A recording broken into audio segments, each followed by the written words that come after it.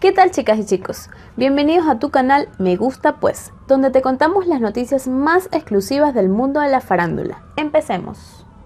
Las hijas de Daniela Castro reaccionan al arresto de su mamá, quien fue acusada de robar. Daniela y Alexa, hijas mayores de la actriz, aprovecharon sus respectivas redes sociales para defender a la villana de Me declaró culpable luego de la polémica en la que se viera envuelta Daniela Castro, cuando fue arrestada en Texas el pasado 28 de septiembre acusada de robo en una tienda de ropa, las dos hijas mayores de la actriz mexicana rompieron el silencio a través de sus respectivas cuentas de Instagram. Fue a través de dicha red social como las jóvenes defendieron a su madre. La primera en hablar fue Daniela, su primogénita, quien compartió el siguiente mensaje a través de sus stories. Te amo. Gracias por todo, ma. No puede haber mejor persona que tú, siempre voy a confiar en ti, en las buenas y en las malas. La joven de 16 años continuó. Mucha gente puede decir lo que quiera, pero la verdad siempre sale a la luz y jamás te voy a dejar sola, al igual que tú.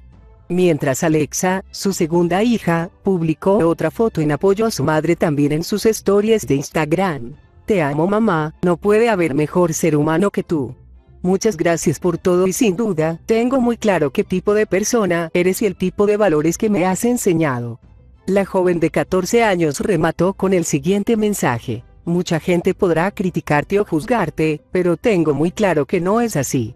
Daniela, Alexa y Gustavo, su tercer hijo de tan solo 5 años de edad, son fruto del matrimonio de la actriz con el político Gustavo Díaz Ordaz III, nieto del expresidente mexicano Gustavo Díaz Ordaz, con quien se casó en junio de 1999. Daniel Estefania Arellano, nombre real de la actriz, fue arrestada el 28 de septiembre por presuntamente haber robado mercancía por un valor de 100 a 750 dólares en la tienda de descuentos of 5, ubicada en el centro comercial RIM, en San Antonio, Texas. La villana de las telenovelas, famosa por sus actuaciones en Cañaveral de Pasiones y me declaró culpable, fue acusada de robo por un empleado de la tienda tras haber escondido en su bolsa tres pantalones, un suéter, una falda, una prenda tejida y ropa deportiva. La actriz fue detenida y trasladada a la cárcel del condado de Bexar, donde fue fichada y posteriormente puesta en libertad la noche del mismo 28 de septiembre, tras haber pagado una fianza de 800 dólares, según consta en la ficha magisterial de su caso.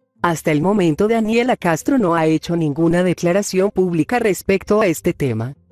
La actriz Daniela Castro es acusada de robo al querer salir de una tienda con ropa escondida dentro de su bolso fue trasladada a la cárcel del condado de Béjar y le otorgaron una fianza de 800 dólares.